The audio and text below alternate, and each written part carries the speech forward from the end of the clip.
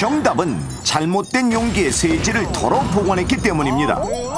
마트에서 무겁고 큰 대용량 세제를 구입하시는 주부님들 어떤 용기에 덜어 쓰시나요? 그러니까 매번 무거워서 들었다 놨다 하기 힘드니까요. 작은 통에 담아서 쓰는 편이에요. 작은 병이나 밀폐용기 통에 보관하는 분들 많으시죠? 그런데 표백제를 밀폐용기에 넣었다가 폭발하는 사례가 속출하고 있습니다. 표백제 안에 과탄산 나트륨이 열에 의해 가스를 발생시키면서 용기가 팽창하는 것인데요.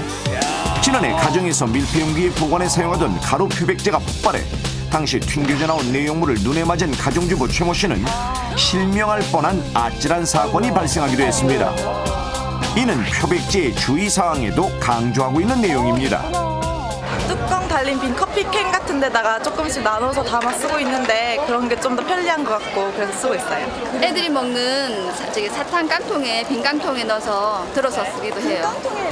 많은 주부들이 알루미늄으로 만들어진 캔 음료 또는 과자를 먹고 남은 캔에 세제를 덜어 보관한다고 대답했는데요. 실제로 최근 일본에서 한 시민이 세제를 담은 알루미늄 커피캔을 들고 지하철을 탔다가 캔이 폭발해 16명이 다치는 사고가 있었습니다. 왜 알루미늄 캔에 보관한 세제가 폭발을 일으킨 걸까요?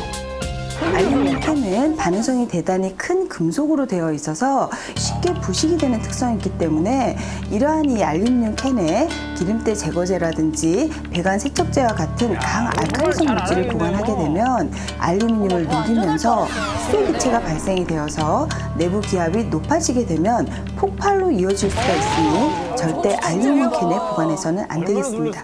그렇다면 지금부터 알루미늄 캔에 강알칼리성 세제를 보관하는 것이 얼마나 위험한지 실험을 통해 알아보겠습니다.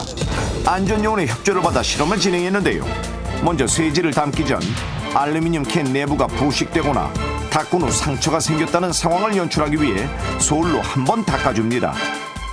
우리가 흔히 사용하는 강알칼리 성분의 청소용 세제를 이 알루미늄 캔에 담은 후 관찰합니다.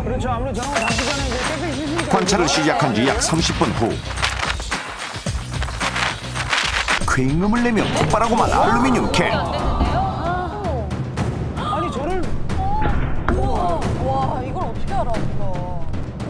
여기저기 사방으로 튄 세제들.